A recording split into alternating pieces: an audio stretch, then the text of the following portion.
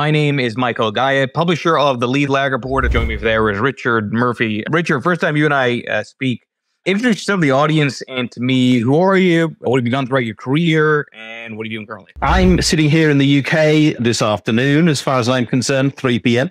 And what am I doing? I'm a chartered accountant, a CPA in US terms, near enough but I'm now professor of accounting at the University of Sheffield after a career that has involved being senior partner of a practicing firm, being a serial entrepreneur, being a tax justice campaigner. And I can honestly say I'm probably the only guy in the world who's created an accounting system that is now the law in 90 countries around the world. And I'm pretty much single handedly responsible for that. Along the way, I also helped co create the Green New Deal, which in the States is well known as a Democrat cause, but is more broadly based inside Europe. I'm one of the co-authors of that originally. So I've got a sort of a pretty broad mix of portfolio interests. All right. So there's gonna be a lot of different directions we're gonna go. First of all, I just want to go after the the way you describe yourself in your X profile, which is economic justice campaigner. What is that for the audience? My wife always says that's the nightmare question when I'm introduced to parties. Look, the answer is that I realized when I was early midlife that I wasn't totally happy with everything that I was seeing and the way the world's economic system was working, in particular the way in which tax was working, which was seemingly horribly biased towards the interests the rich tax havens were being used widely by corporations, by firms of accountants, lawyers, and banks to basically abuse and even undermine the revenues of elected governments. And I wasn't too hot on that either. And the tax burden was shifting from those who had the capacity to pay it to those who didn't because government still needed revenues. And so I got heavily involved in tax justice to deal with that. Since then, my sort of themes have broadened out. If you read my blog, which is called Funding the Future, the themes are much broader than just tax. In fact, if I want to write an article, which people don't read, basically I should write about tax because people don't read those ones very much. That's perhaps not surprising. But I look at the more general approach that is required as to how we can manage the economy to make sure that everybody joins in on the journey and it's not just a few who get all the benefit. What's funny is that everything you just said, I can obviously apply to how things work in the States and the US here. Yeah. So it's not that something that's uh, specific to any particular country. There's something to power and using tax uh, from an abusive perspective that uh, not only enables the, ta- the, the power and concentration of that power, but also the continuation. Of Absolutely, and I spent quite a lot of time, oh, particularly from 2009 to 2013 in the states, talking about some of these issues. So in that period, I was a regular transatlantic flyer. Not so often these days, but I was then. What what is there any kind of like a, a green roots approach or response by those in the UK to try to counter some of these uh, inequities that are being done from the tax code there. I mean, here in the US, I think most people are just they complain about taxes, but they're either too distracted to actually uh, do something about it. There is a significant difference in the attitudes either side of the Atlantic, the pond, whatever you wish to call it. We are certainly more inclined to tackle tax abuse in the UK and Europe and I think in the States, that is partly expressed through some of the antagonism, which I know arises between US politicians and the OECD, which is based in Paris. The OECD is the Organization for Economic Cooperation and Development, which is one of those post war institutions created to help manage the world economy and which deals well, with tax primarily from my point of view, also with development, which most of the world don't know as much about because the UN tends to be more powerful there. But it's a very, it is the writer of the world's tax rules. And these tend to be more powerful. Their initiatives tend to have more impact in Europe partly because the European Union is obviously able to amplify them. So once it has adopted a position which perhaps the UA, OECD first promoted, it becomes the law, you know, in 27 states now, because of course the UK has left. But the UK is still actively involved in that. And the whole sort of tax justice agenda picked up very much more strongly here after the global financial crisis of 2008. There was a London OECD summit Oh, no, it was a G20 summit, sorry, but the OECD was obviously there. In April 2009, it was Obama's first foreign trip. I was in the room. I was there at the invitation of Downing Street at the time because of the work that I was doing. And I have been to other G20s and G8 since. And it was clear that the political appetite for this was stronger in Europe than it was in the US. There is a more there's a higher tax, higher benefit mentality over here than in the US. And so I think that ha- makes a difference. Okay, so that's actually from a, a, a cultural perspective. So it sounds like, because obviously inflation is a tax as well. I don't agree with that. but okay, well, okay, let, okay, let's play with that. But just on the point about uh, the view of taxation, what from what I'm hearing from you, it sounds as if if you're sitting in the UK or just the Eurozone in, in general, you feel like you're getting more for those tax dollars than on what you're saying, uh, somebody in the states might uh, otherwise think with their respective taxes? Well, we have a different. Yeah, I think but generally in the past, I don't think quite so much in the present. There's a high degree of dissatisfaction with government here at the moment.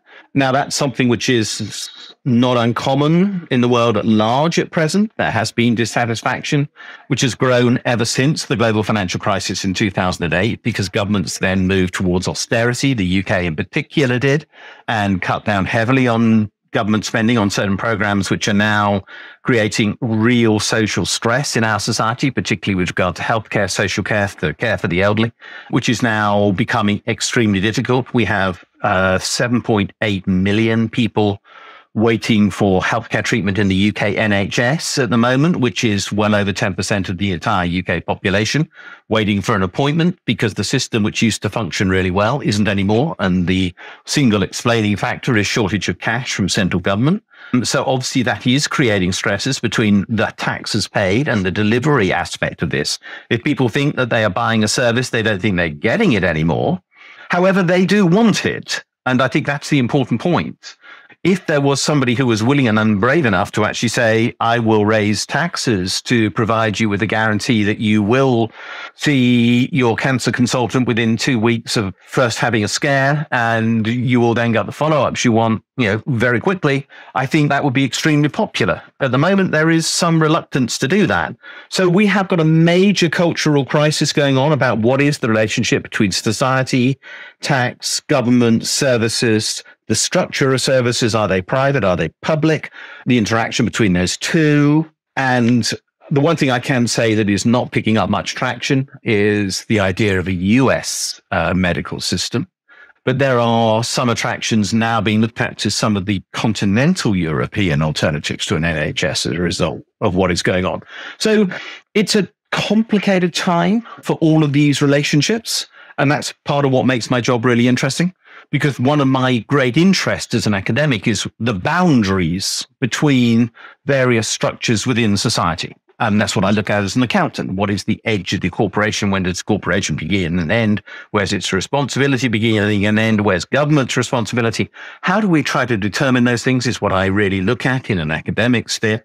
But that spills over into the work I do as a campaigner, obviously. All right. So, so let's go to why you said in you, you very quickly said, I don't agree with the idea that inflation is a tax because that's often put out there quite a bit. I think most people intuitively believe that. Um, I myself do as well. But why did you say you don't agree with the idea that inflation is not a tax? Is it imposed by government through a mechanism created by law to require payment to it as a consequence of you know, some form of legislation passed? No, so it's not a tax. Simple, straightforward. It can't be a tax. Tax is a charge imposed by a government in pursuit of law, and inflation isn't. So inflation can't be a tax.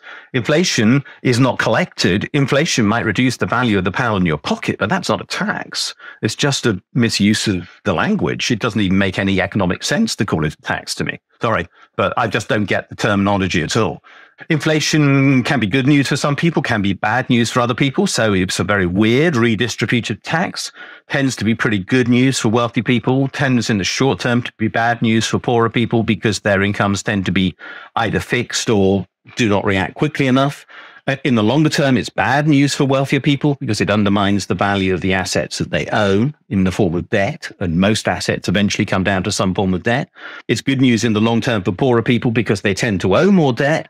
So um, you're talking about something which doesn't behave in any shape, sense, or form like a tax. It's a it's about money, and there is a relationship between tax and money, undoubtedly. And I'm more than willing to explore what that is. One is the fundamentally the flip side of the other, but what it definitely is not is a tax. Okay, I think it's a good way to frame it. Though perhaps we can argue, or maybe go back and forth on the effect on government debt. Is you can argue maybe somewhat similar, right? So you can tax to pay off government debt, or you can inflate it away. Oh, well, that's true of all debt. I mean, let's be honest. I'm I'm an enormous recipient of the value of inflation, and so it's just about every boomer. You know, I happen to be age 65. I'm officially an old age pensioner in the UK next March. I'm a boomer. I'm sitting in my house, which you know, it's no secret. You could find this out from searching the public record. My I own. There's no mortgage on it. And I promise you, I didn't pay in terms of settling mortgage liabilities or in any other way the full cost of the house that I now own. Inflation has given it a value which I did not pay for. So I have an asset worth which has been inflated by debt the value of government debt is eroded in, in, the same way by inflation. But again, that doesn't make it a tax. It does make it a basis for charging tax on unearned um, economic well-being, which you never actually had to suffer a cost to generate. So it does provide a basis for arguments about wealth tax, although in broad terms, I'm not that keen on wealth taxes per se, because I think they're virtually impossible to charge and impose. I just speak as an accountant there. I don't know how you would value the assets to impose a general wealth tax. And so those who talk about it have never tried to do a negotiation of asset valuation with the revenue authority, because if they have, they wouldn't want to do that all the time. But when I look at that whole structure, I can't come up with anything that justifies that as a tax. It is merely a way of reorganizing power within economic power within society. And inflation certainly does that. So that means it's a subject for consideration within political economy, because political economy is about how the relationships of power allocate resources within society in a way that is way beyond the market consideration, which is what pure economics normally looks at. Okay, so actually, let, let's play with that wealth tax point because I'm pretty sure that's a key component of what goes into modern monetary theory, in quotes, working, right? That you can tax, you know, the very wealthy and take some of those, that wealth to effectively try to better manage the inflation of a country. And as you alluded to, that's pretty much an impossibility. They, here in the States, they constantly talk about it. There's no way you can do it in any, in any practical way modern monetary theory is, not, theory is not something that's necessarily new. It's not something that's just U.S. specific. I am curious to hear your thoughts on if what's happened the last two, three years uh, is maybe a repudiation of the theory altogether. Look, I'm, I'm not a pure modern monetary theorist. I've read a lot of it. According to Randy Wray who is one of the leading proponents of MMT, my work on tax and MMT is one of the rare contributions to the theory of modern monetary theory, which came from somebody outside the fairly small group who've created it. But I know most of those people, Warren Mosler, Stephanie Kelton, Bill Mitchell, etc., um, and Randy and others. MMT does not say most of what most people says it says. And I think that's one of the great weird things about it. There's a massive mythology about MMT. And when you bring it down to it, MMT simply says a, a government can create money unless it creates money and spends it into the economy, there is no currency available to pay tax because where does the currency come from? If it doesn't come from the government, nobody else creates a currency. Nobody else can declare it legal tender. And MMT actually says that tax is absolutely fundamental to the existence and nature of a currency because unless tax is demanded, then there's no reason why that particular currency should be attributed with value and value is attributed by the fact that you have to have it, that particular currency in the States, the dollar here, the pound sterling, to settle your tax liability. And I know that's true in the UK because it says on a UK banknote, I promise to pay the bearer on demand the sum of five pounds, ten pounds, whatever else. But in practice, the only way in which that liability is settled is by the fact that the government will accept that note in settlement of a tax liability. So the, the money that the government creates day in, day out, which is all that MMT really says, um, that there is no such thing as non-government created money ultimately, is cancelled through the operation of a tax system. So when I said earlier that money and tax are the flip side of each other, I genuinely think they are. One does not exist without the other. I don't actually think tax funds anything that is spent by government. That's as poor a theory as the intermediation model, financial intermediation model of banking, because banks do not pay deposit the funds and lend them. We know that's not true. Most central banks around the world have now agreed that, including the Bank of England, the, the German Federal Bank, the Canadian Federal Bank. I'm not sure whether the US Fed has agreed that's the case or not. I can't remember. But, you know, financial intermediation by banks doesn't happen. Uh, banks create money when they make loans, and the money is destroyed when the loan is repaid. And governments create money when they spend. People accept that currency as legal tender because A, it's been declared as such, and B, they need it to pay tax. And the payment of tax cancels the liability they owe to the government, but the government's already done its spending without the tax. Now, therefore, people say MMT says you don't need tax to spend. Well, look, in tiny quantities, that's true. But in terms of running a macro economy, that's never true. The reality is that few governments want to run a significant deficit. They can, very clearly. They did. In the UK, we had a 450 billion deficit in 2020 21. That's, you know, a record. That was paid for entirely by money creation. It was disguised by quantitative easing, but I make it clear quantitative easing is just a sham, a transaction put in place to pretend that the government is actually not borrowing directly from its own central bank um, when it is, um, because it did. And how do I know that, by the way? Because that is what is reflected in the audited accounts of the UK government. The audited accounts of the UK government show that it borrowed from the central bank. Our Office for National Statistics, which produces the figures for the national debt, says it didn't. One of those is right and one of those is wrong. Well, actually, it's the audited accounts which are right and the official UK national debt figures that are wrong. And that's an issue about which I'm at the moment doing academic research and writing a journal paper because nobody seems to have actually bothered about the issue, but it's absolutely fundamental to understanding proper accounting and proper economics, as far as I can see. And this is a relationship we need to understand. But I genuinely feel that most people don't have much comprehension of what money really is. It is simply debt. There's nothing else to it. That is all there is. That's all there ever has been to money. Even when we had asset backed money, it was just a token representation of um, the debt. And notes and coins are token representation of debt owing. So instead of being recorded in a ledger, which is where electronic money is recorded, then notes and coins are token representation of the money. But that is uh, this lack of understanding of money. And in that sense, the lack of understanding of what MMT has tried to say, which is remarkably simple in its actual description, is worrying. MMT doesn't help itself. Let's be clear about this. Some of the, particularly some of the proponents, and Bill Mitchell and I famously don't get on very well, and I'm not going to pretend otherwise, because Bill writes all sort of stuff and says MMT says this. And my answer is, no, your politics say that, Bill. MMT does not say that. You have extrapolated to make it seem as though MMT could say that, and you can use MMT to justify your argument. But that isn't what MMT says. MMT simply says a government creates money put, spends it into circulation and taxes it back to the extent that it needs to control inflation. And the control of inflation is in MMT the fundamental reason for taxing. It does not rely on interest rates. So the difference, the fundamental difference between MMT and some other ways of thinking is this emphasis on interest rates.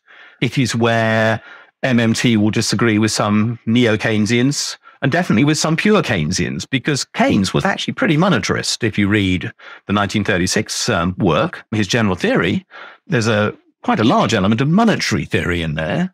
Uh, the neo Keynesians were much less monetarist, and MMT is certainly less monetarist in the sense of this lack of dependence upon interest rates as a mechanism to control inflation. It depends upon a flexible enough tax system to do that job instead.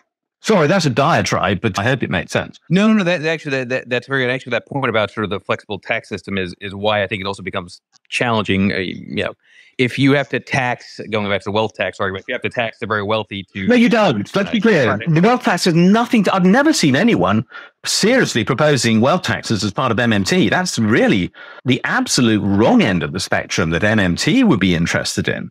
MMT is interested in mass taxation because you need to collect large amounts of money, and wealth taxes only ever collect, frankly, pretty inconsequential amounts of money. Yeah, there are, but but presumably there's going to be some limit to that, right? I mean, okay, that that may be the case. Being more deficits increase and more you have to increase taxes, okay, that's fine. But on the entire population, okay, I'm fine with that, obviously.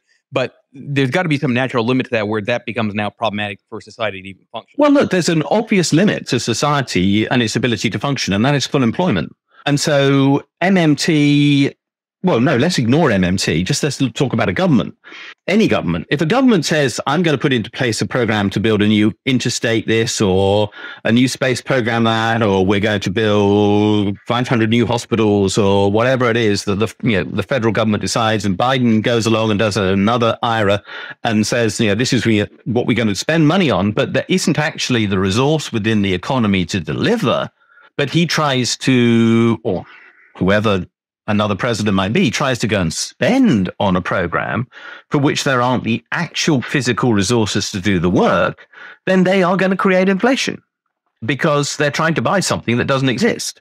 If you try to buy something that doesn't exist, the price of what does exist will go up because it's now in scarce supply and there's an excess demand for it. So the problem is not anything to do with MMT. The problem is actually trying to overstimulate demand when you haven't created the capacity to deliver that's where the problem is. MMT has the capacity to withdraw the excess demand by taxing. And if you are trying to change the profile of spending within an economy, so you decide as a government that you actually do genuinely believe that the state should play a bigger role than it does now. Yeah, let's put forward the impossible suggestion that American healthcare is to become entirely state managed and run, um, which I really don't think was ever going to happen then you would obviously have to increase taxes to manage the fact that the government would now be spending the money into the economy to pay all the employees inside the American medical system.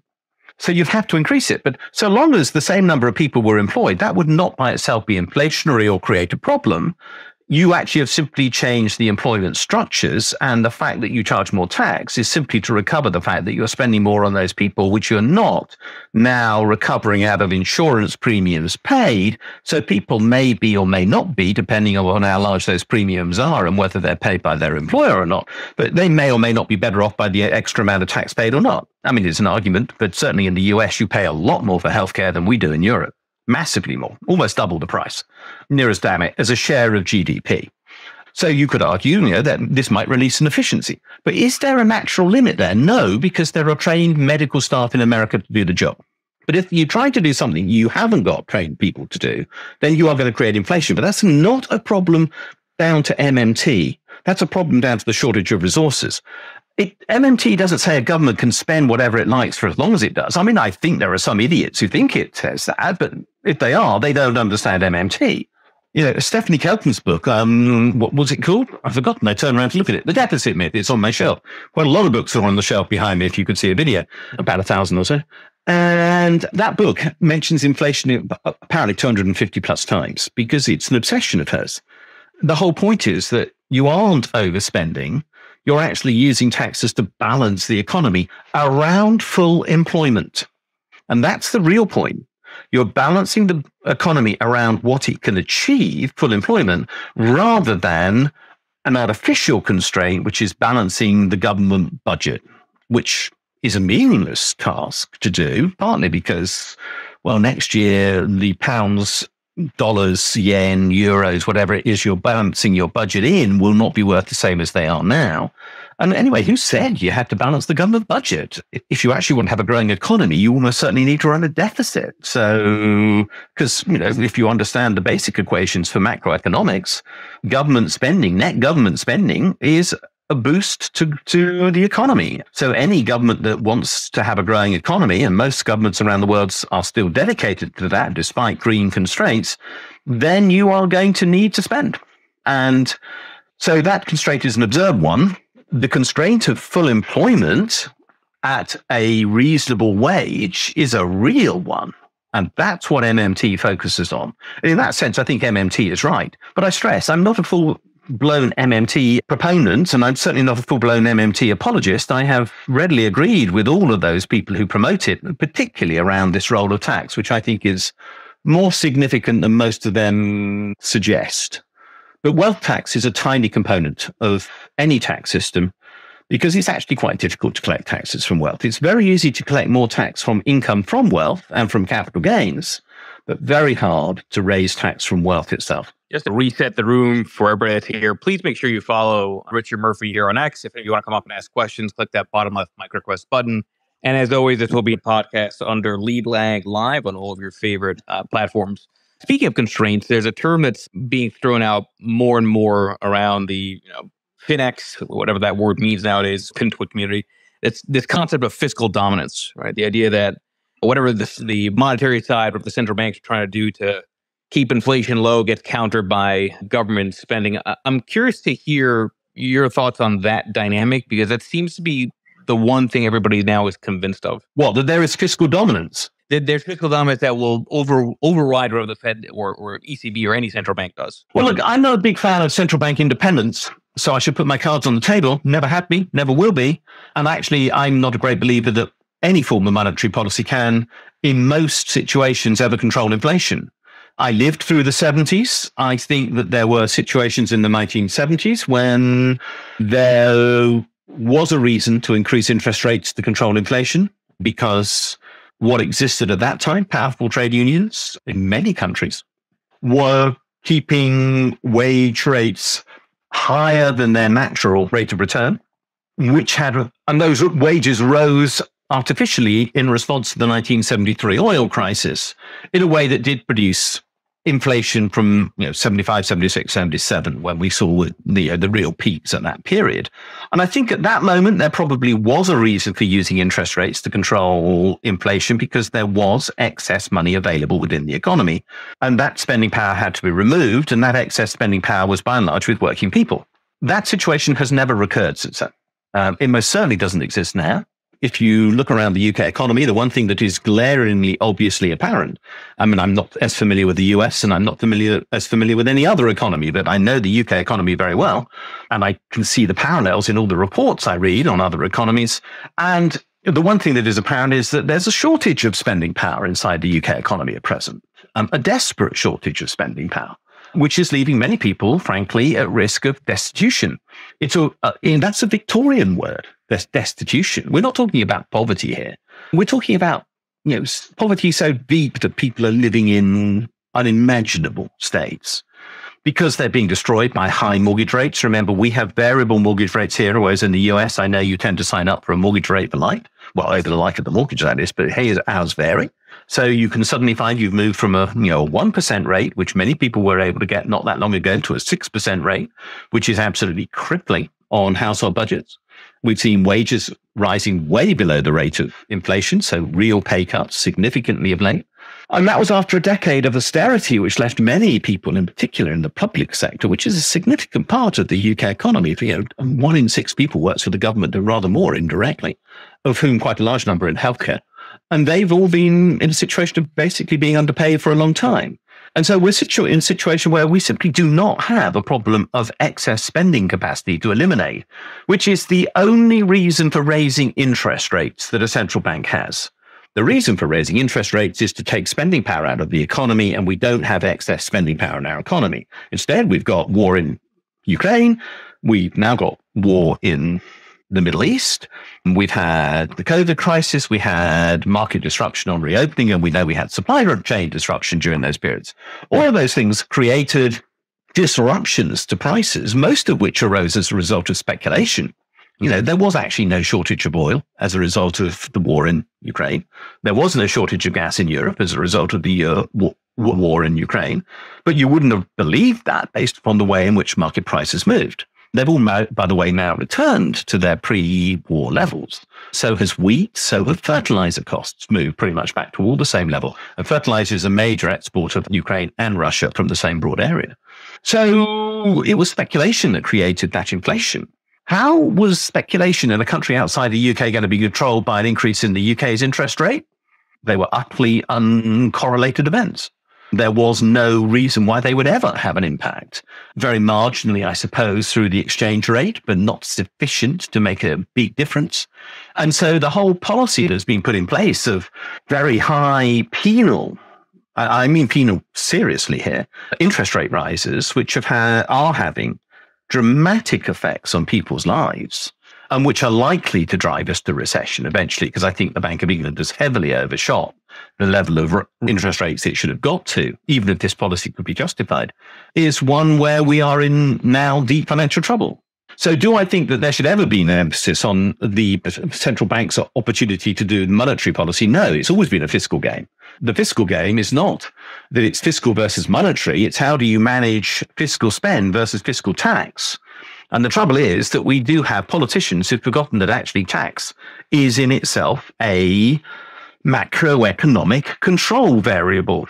Instead, they see it as a means of raising money to pay for expenditure. It isn't because their central bank will always pay for their expenditure, as QE proved, but about which they are in collective denial.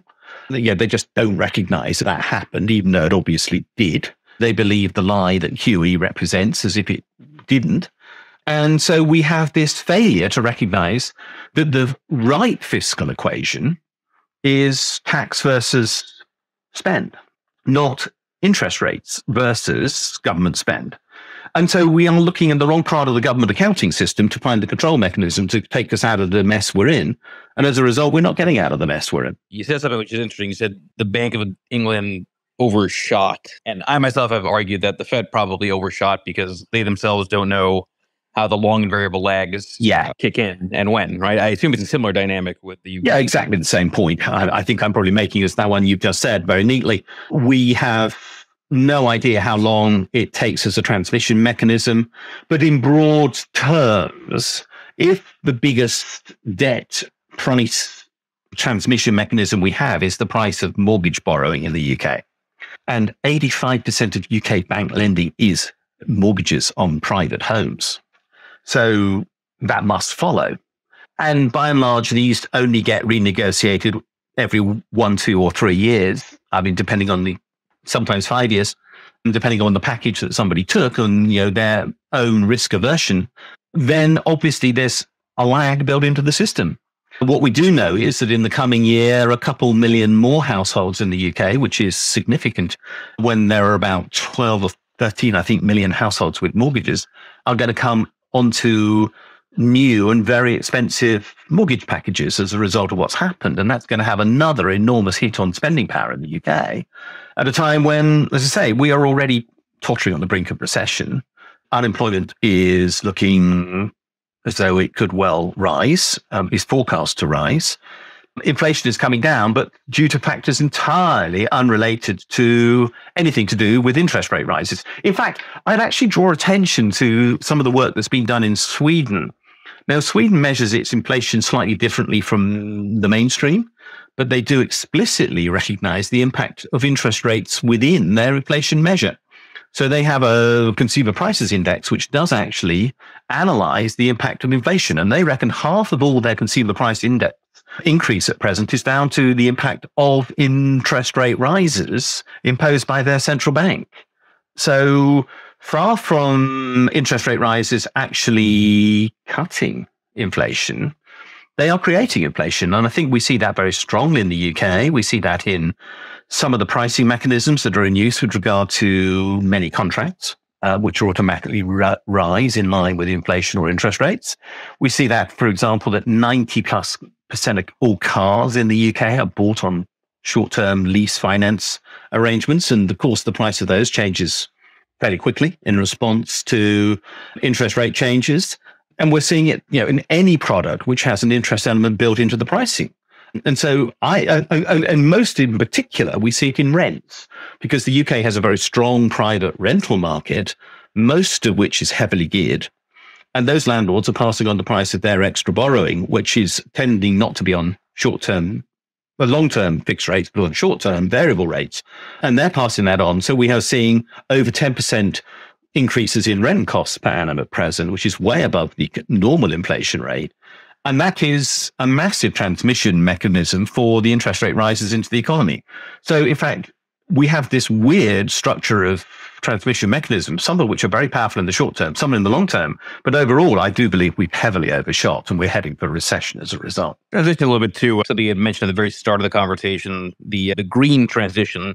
Here in the States, I think there's a lot of skepticism, at least among the investment community, especially because of what's happened with oil. Where are we on the green transition? Where's that money going to come from? If we're at this point where maybe there's some natural limit to how much government debt there there can be, where's the money going to come from for all this all these hopes around green transitioning? Well, I've spent quite a lot of time thinking about that question, and I've written quite a bit about it. So thank you for asking, because I guess you must have seen something I'd said.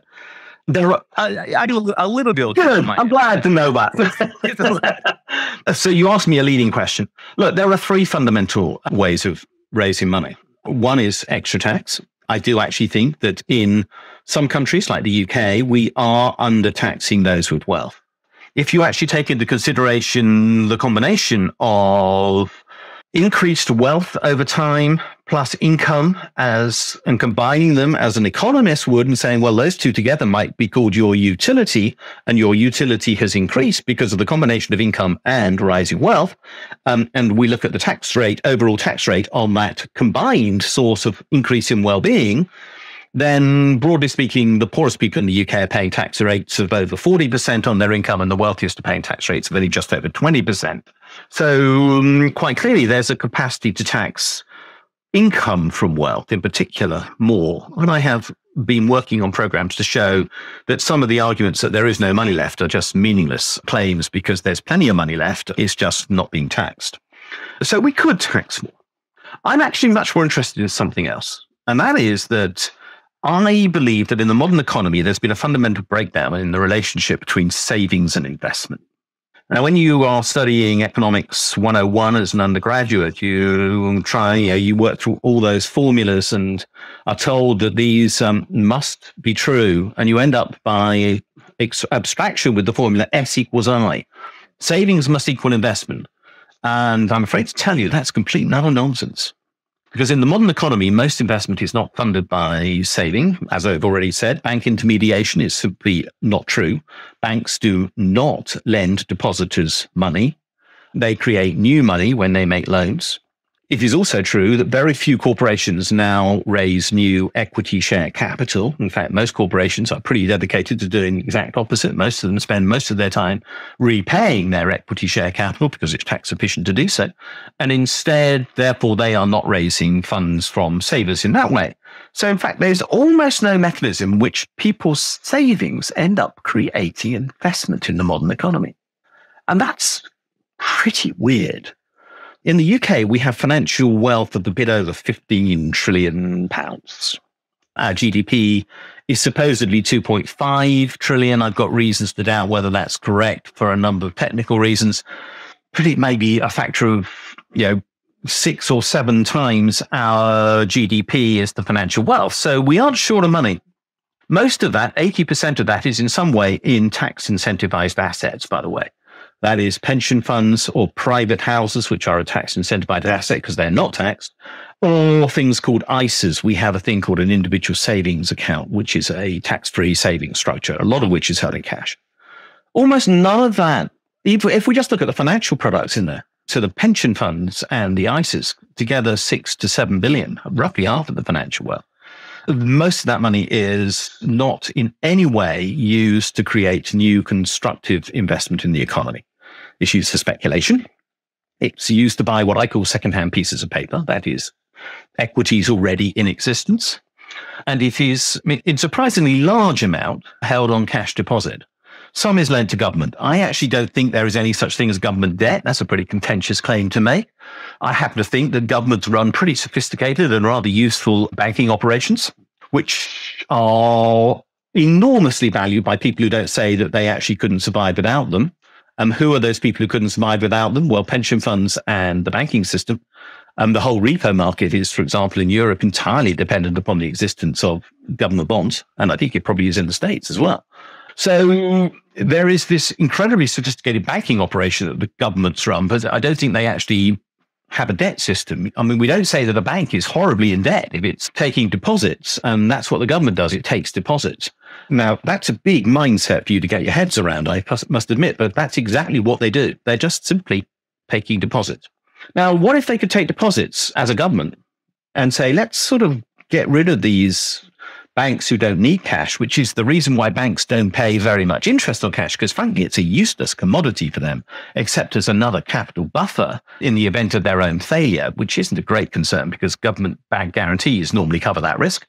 And instead, that money is actually used in what I would suggest is a form of hypothecated savings account. And we say to people, well, if you're really worried about the green transition, save in a hypothecated savings account. They could be these ISAs we have here. That could be through your, was it 411k or whatever it is in the States? I've forgotten the, the, the number. Is that right? That's the pension fund arrangement? A 401k. 401k. Yeah. So you could do it through your, that arrangement and you could actually save for the long term some of the testing that I put out on this, and we've done a little bit of you know, work just trying to sound people out, suggests that people get really quite excited when they realize that they could actually save in a way which would result directly in investment.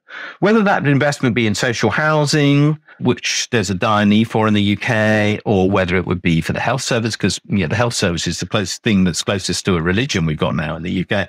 That's a joke, but it's not entirely misplaced. But I will make that point just in case anybody's offended. Or it could be in the green transition, or it could be in more directly in transport, energy systems, transmission systems, whatever you like. And we could actually put in place arrangements where instead of people making cash deposits where frankly the money has almost no use, or equity investments where the funds are simply used for speculative purposes, we do instead actually see the recreation of this relationship between S and I now, if that was to be the case, we would have the biggest economic revolution that we can imagine because governments wouldn't then be dependent upon taxation revenue alone for their revenue, and they are borrowing. They're actually definitely are deposit taking. They're capital facilitators, and they are putting into place the, an arrangement, which I think is a real arrangement, which is between the depositor and the user of the funds. And that is something which hasn't existed in economies basically in my lifetime because of the failure of equity markets to achieve that result and because the way in which money was transformed post 1971, the end of the gold standard and everything else, money ceased to have any real meaning as uh, in, in, financial intermediation terms. Money existed to the extent that anybody wanted to create it. So suddenly we, I, and I don't think the whole of economics has got its head around the fact that this S equals I relationship no longer exists. And so my argument is that if we're going to pay for the green transition, we need to rethink how we actually use the savings in our economies because that's the money that could be used. And I think there's an awful lot of people who'd like their savings to be used for some constructive social purpose, particularly if a government guarantee was attached to it. I got to give you a lot of credit, Richard. You're, you're uh, incredibly intelligent, knowledgeable, and uh, have a lot of passion, which is nice to see. I, I am curious. I mean, you, you put that ebook out there, and obviously you're yeah, you've done very well in your career. Why do you put so much effort and content out there? I mean, it sounds like you just kind of coast through life and, and you go, well, and I don't mean that as a criticism by any means, but I'm always fascinated by, you know, what keeps somebody motivated? Look, I, I could give up. You know, if I'm honest, I have enough pension fund probably available that I could give up. You know, I'm a bit of a passionate ornithologist. I spend my weekends out with a pair of binoculars. Thankfully, my wife is as well, which makes it a bit easier. And, you know, I could spend a lot of time just, I live in a beautiful part of England. I could just spend my time doing something else. Why don't I? Because I think there's a better world still to create. I've got two sons and I would like to think that I did my bit to make the world better for them. And I don't think I've succeeded as much as I'd like as yet. But I really, I suppose when it comes down to it, I mean, I write normally three blogs in the morning before breakfast every morning. I mean, I've written over three blogs a day on average every day for the last 17 years. That's over 20,000 blog posts now, nearly 21,000, I think. I don't know how many words it is, millions, many millions. Why do I do that? I wake up every morning and I just think, look, this world could be made better. There simply are things we could do better than we are, and people could be better off actually, very few people would be worse off if we made some people better off. I do actually genuinely think that there's a net gain. We aren't playing a zero sum here. There aren't just winners and losers. There are net gains to be had in society if only we could tackle some of these problem, problems and think through some of the theoretical impediments that we put in our way because we have well, suffer group think about so many things. You know, there's only certain ways we can save, only certain ways we can invest. We misname things or we structure things incorrectly. And I'm just passionate about trying to actually make life better for people. And if I can, I've done my little bit for the day. I can then go off at the weekend and do some bird watching. Did you mention those posts, Richard? Aside from X, where can people find you? Oh, m- my blog is called, well, the, the URL is taxresearch.org.uk. The blog is actually now called Funding the Future. But if you just literally put my name in and Richard Murphy Tax, I guarantee you I'll come up pretty high on Google. You know, when you've written that many blog posts, you tend to come up pretty high on Google. Even if you're in the States, I suspect I come up pretty high. I know there's some pretty notable Richard Murphys in the States. You know, I, Isn't there a senator, Richard Murphy, at one time or whatever? Or was it a congressman? I can't remember which. Well, I'm not that one. But if you put Richard Murphy in tax, I'm probably going to come up. But Richard Murphy funding the future, that'll work too. Right. Please give uh, Richard a follow here on X. Make sure you check out his posts. Again, this will be in a podcast, and I've got a number of these spaces lined up throughout the week. So please make sure you turn those notifications on and uh, join those live. Uh, thank you, Richard. Really, I, I, very much enjoyed the conversation. I think you're uh, you put a lot of interesting perspective out there. Thank you. Thank you, everybody. Cheers.